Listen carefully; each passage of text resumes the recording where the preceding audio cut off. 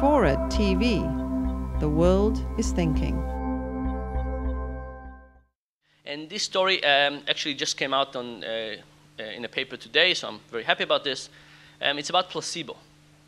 So first of all, let me tell you something about placebo. Uh, many people think about placebo as sugar pill or just psychology. It turns out placebo is very interesting.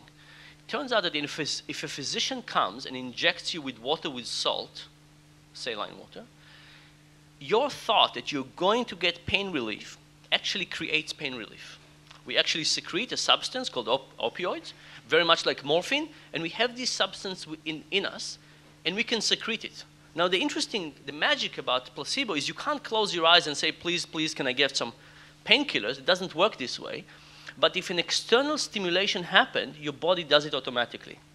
You can think about it a, bit like, a little bit like Pavlovian conditioning bell, food, salivation, bed, food, salivation. At some point, the salivation advances in time, preparing the body for what it expects to happen in the future, and therefore creating a different physiology and a different reality. Now, we've done um, a study on placebo, which looked like the following. Uh, we told people we have a new drug called Valadon RX. We're very proud of our drug. We made little brochures about it. We had little pens with the logo of the company. Uh, people came in, they filled an extensive medical history about everything that happened to them and their family. and then we measured their blood pressure, their, all kinds of things that we could measure to get them feel like it's really a medical thing. and then we connected them to a machine that gave them electrical shocks, and we measured how much pain they could tolerate. Okay? We did this, and then we gave them a painkiller. We gave them a painkiller. We asked them to sit down and wait next to a pile of old Time and Newsweek magazines to really feel like a physician's office. and then we measured the, we repeated the process of measuring the pain tolerance again. So we have pain tolerance, pill, pain tolerance.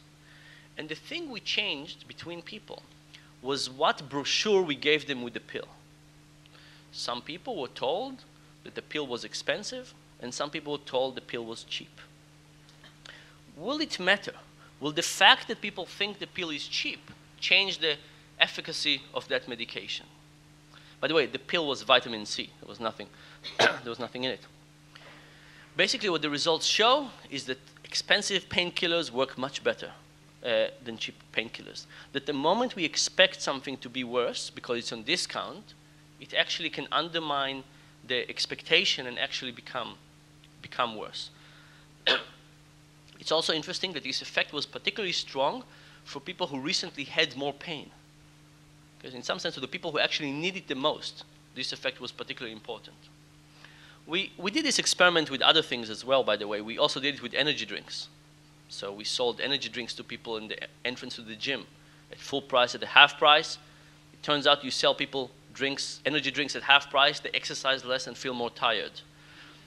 It also turns out that when you sell people energy drinks at half price and you give them a series of word problems to solve, anagrams, they don't solve as many. It's like they're not as smart uh, if they bought the cheap, the cheap energy drinks. Let me tell you one more experiment.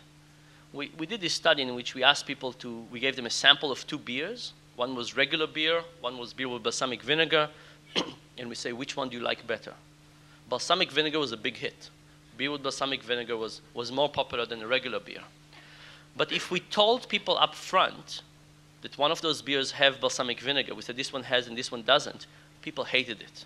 It didn't matter how much they tasted it, they hated it.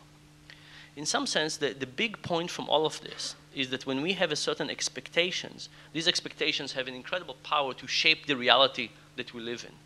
If you expect something to be worse just because it costs less, it has a tendency to actually become that. And if you think uh, beer is going to taste bad because it has balsamic vinegar, um, there's not going to help you to experience it because your, your ideas are going to overwhelm uh, reality. I think it's a very uh, difficult uh, point actually to ponder, the idea that, that reality uh, uh, might be so dependent on what we expect, what we expect it to be. Um, I'll just say a couple of more things about that. The, the discounted uh, pain medication, I think, are particularly interesting when we ask some applied questions. So how do we do discounted medications to needy populations, right? I mean, if, if the discounted medication is going to have a worse effect, how do we overcome that? Uh, how do we do copay?